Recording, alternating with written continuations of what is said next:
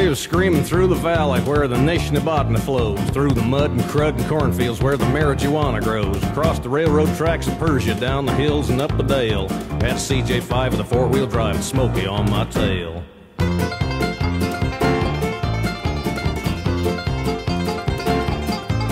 Well, he picked me up with exit 12 on the I-680 ramp. I was doing 67 per when I rumbled through his trap. He commenced to whirl his flashing lights and he made his siren wail. I slipped on down to four-wheel drive with Smoky on my tail. Now I got racing stripes and dual pipes and Smoky's got a Ford. Got a mill with a four-pot carb, you know, but Smoky's stroked and bored. Well, chase was on, but I had the edge with a rig that'll never fail. Got a CJ5 with a four-wheel drive, Smoky on my tail. Yeah, he was. Well, I dropped on down to Granny Low and I made a hard right turn. My big old fat commando tires went slicing through the corn. Well, the tassels blew and the kernels flew and it looked like yellow hail. Just cooking alive in a four-wheel drive with Smoky on my tail. Well, we went screaming through the valley where the Nishnabotna flows. Through the mud and crud and cornfields where the marijuana grows. Across the railroad tracks of Persia, up the hills and down the dales. My CJ5 and four-wheel drive with Smoky on my tail. Look out now, here he comes. Oh, we gonna get it on now. Don't hit that fellow with a banjo.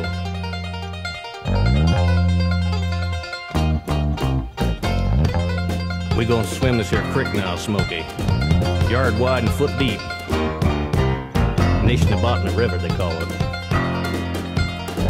Might have to winch out. Gonna do wheelie on that there gopher mound now, Smoky. Can you dig it, Smoky?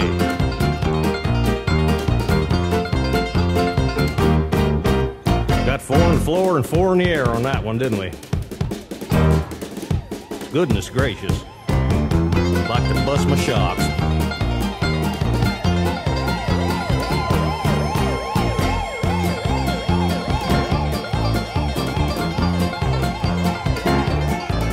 Well, that Jeep of mine made Smoky whine. His rig was made of lead. He's mired in 14 feet of mud, so he radioed ahead.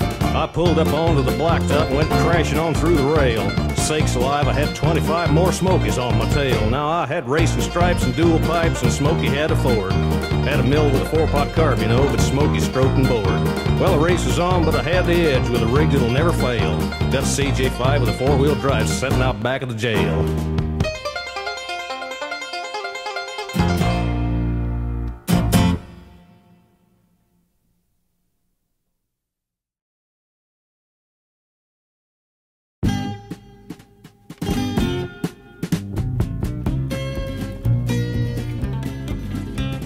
Me and Earl was hauling chickens on the flatbed out of Wiggins, and we'd spent all night on the uphill side of 37 miles of hell called Wolf Creek Pass, which is up on the Great Divide. And we was sitting there sucking toothpicks and drinking knee highs and onion soup mix, and I says, Earl, let's mail a card to mother and then send them chickens on down to other side. Yeah, let's give 'em a ride. Wolf Creek Pass way up on the Great Divide,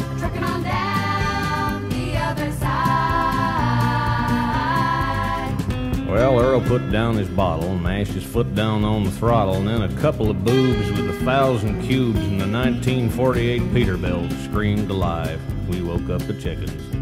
We roared up off of that shoulder, spraying pine cones, rocks, and boulders, and put 400 head of them Rhode Island Reds and a couple of burnt out roosters on the line. Look out below, cause here we go.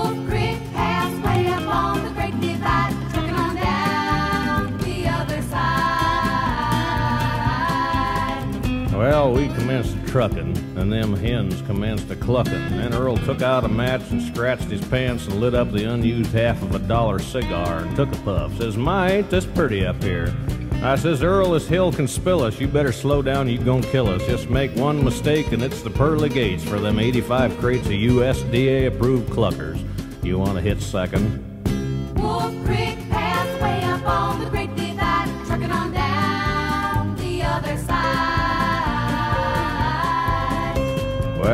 Grabbed on the shifter and he stabbed her into fifth gear, and then the chromium plated, fully illuminated, genuine accessory shift knob come right off in his hand. I says, You want to screw that thing back on, Earl? He was trying to thread it on there when the fire fell off of his cigar and dropped on down, sort of rolled around, and then lit in the cuff of Earl's pants and burned a hole in his sock. Yeah, sort of set him right on fire. I looked on out of the window and I started counting phone poles going by at the rate of four to the seventh power. Well, I put two and two together and added 12 and carried five. I'm up with 22,000 telephone poles an hour. I looked at Earl and his eyes was wide, his lip was curled and his leg was fried, and his hand was froze to the wheel like a tongue to a sled in the middle of a blizzard. I says, Earl, I'm not the type to complain, but the time has come for me to explain that if you don't apply some brake real soon, they're gonna have to pick us up with a stick and a spoon.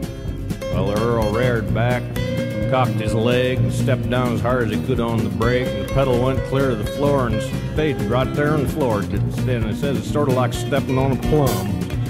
Well, from there on down, it just wasn't real pretty. It was Hairpin County and Switchback City. One of them looked like a can full of worms. Another one looked like malaria germs. Right in the middle of the whole damn show was a real nice tunnel now, wouldn't you know? Sign says clearance to the 12 foot line, but the chickens was stacked to 13.9. Well, we shot that tunnel in 110 like gas through a funnel and eggs through a hen. We took that top row of chickens off slicker and scum off a Louisiana swamp. Went down and around and around and down. We run out of ground at the edge of town, bashed into the side of the feed store in downtown Pagosa Springs.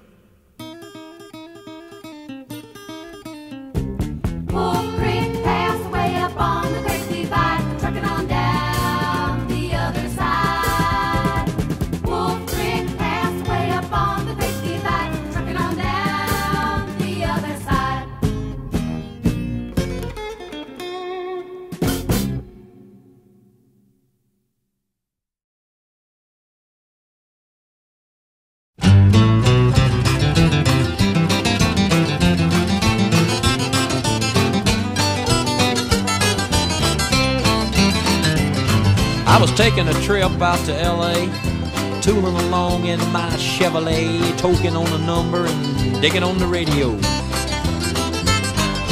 Just as I crossed the Mississippi line, I heard that highway start to whine, and I knew that left rear tire was about to go. Well, the spare was flat, and I got uptight because there wasn't a filling station in sight, so I just limped on down the shoulder on the rim. I went as far as I could, and when I stopped the car, it was right in front of this little bar, kind of a redneck looking joint called the Dewdrop Inn. Well, I stuffed my hair up under my hat and told the bartender that I had a flat and would he be kind enough to give me change for a one. Well, there was one thing I was sure proud to see. There wasn't a soul in the place except for him and me, and he just looked disgusted and pointed toward the telephone. I called up a station down the road a ways, and he said he wasn't very busy today, and he could have somebody there in just about 10 minutes or so. He said, now you just stay right where you're at, and I didn't bother to tell the darn fool that I sure as hell didn't have any place else to go. I just ordered up a beer and sat down at the bar when some guy walked in and said, Who owns this car with the peace sign and the mag wheels and four on the floor? Well, he looked at me and I damn near died, and I decided that I'd just wait outside, so I laid a dollar on the bar and headed for the door. Just when I thought I'd get out of there with my skin, these five big dudes come strolling in with this one old drunk chick and some fellow with green teeth. And I was almost to the door when the biggest one said, You tip your hat to this lady, son. And when I did, all that hair fell out from underneath. Now, the last thing I wanted was to get in a fight in Jackson, Mississippi on a Saturday night, especially when there was three of them and only one of me. But they all started laughing and I felt kind of sick. I knew I'd better think of something pretty quick, so I just reached out and kicked old Green Teeth right in the knee.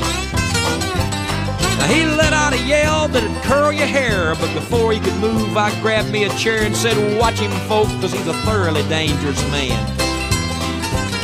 Well, you may not know it, but this man's a spy. He's an undercover agent for the FBI, and he's been sent down here to infiltrate the Ku Klux Klan. He was still bent over holding on to his knee, but everybody else was looking and listening to me, and I laid it on thicker and heavier as I went. I said, Would you believe this man has gone as far as tearing Wallace stickers off the bumpers of cars, and he voted for George McGovern for president? Well, he's a friend of them long haired hippie type pinko fags. I bet you he's even got a commie flag tacked up on the wall inside of his garage. He's a snake in the grass, I tell you guys. He may look dumb, but that's just a disguise. He's a mastermind in the ways of espionage. They all started looking real suspicious at him, and he jumped up and said, Now just wait a minute, Jim. You know he's lying. I've been living here all of my life. I'm a faithful follower of Brother John Birch, and I belong to the Antioch Baptist Church, and I ain't even got a garage. You can call home and ask my wife. Then he started saying something about the way I was dressed, but I didn't wait around to hear the rest. I was too busy moving and hoping I didn't run out of luck. When I hit the ground, I was making tracks, and they were just taking my car down off the jack, so I threw the man a 20 and jumped in and fired that mother up. Mario Andretti would have sure been proud of the way I was moving when I passed that crowd coming out the door and headed toward me in a trot. And I guess I should have gone ahead and run, but somehow I just couldn't resist the fun of chasing them all just once around the parking lot. Well, they're headed for their car, but I hit the gas and spun around and headed them off at the pass. I was slinging gravel and putting a ton of dust in the air. I had them all out there stepping and fetching like their heads were on fire and their asses was catching, but I figured I'd better go ahead and split before the cops got there. But When I hit the road, I was really wheeling, had gravel flying and rubber squealing, and I didn't slow down till I was almost to Arkansas. Well, I think I'm going to reroute my trip. I wonder if anybody'd think I'd flipped if I went to L.A. via Omaha.